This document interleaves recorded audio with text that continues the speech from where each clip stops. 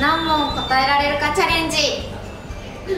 それはスタート。最近ハマっているものは、最近筋トレです。えーか自分の体の中で一番のアピールポイントは？ウエスト。お休みの日は何してる？ゴロゴロしてる。お風呂に入ったら一番最初にどこから洗いますか？あー顔です。寝るときはパジャマ？着る派？着それとも？好スウェット派です。きな男性のタイプは？は優しい人心が広い人怒らない人。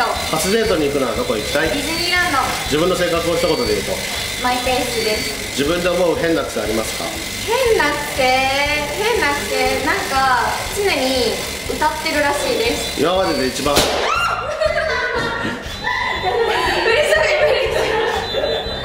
えー、ケム20問答えた？かな。9問。あ9問優秀9問